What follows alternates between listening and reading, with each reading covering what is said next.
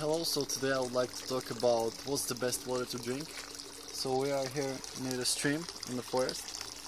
And this is like the best water because it's it's got the most minerals that are accumulated in the water from the soil. And even if it's going through the pipe, the pipe is really clean because the water keeps going. And it's better than the tap water because in tap water they put chlorine which uh, it's not good for your health.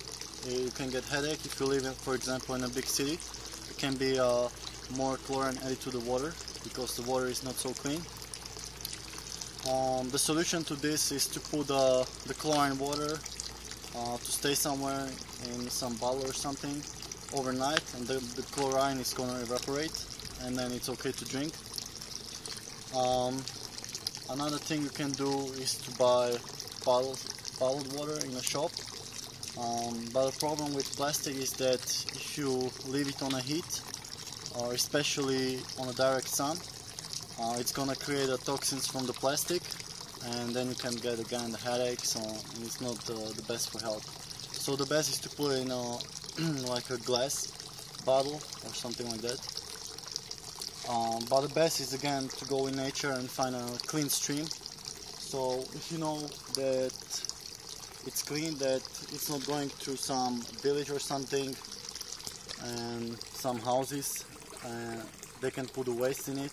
So make sure there is no, it's going straight from the stream, straight from the ground and you get the most minerals. Even there is, there could be B12 if there is the dirt there. So it's all good. And make sure you pee 10 to 12 times a day is the most important. Rather than being afraid what water to drink you should always aim for the best like this water. But if you can't get that any water is good. Just be clear 10 to 12 times a day and a couple times at night and you should be good. Um, so always focus on getting enough water. Each day for me it's about around 5 liters a day. Depends if I'm doing more exercise could be more.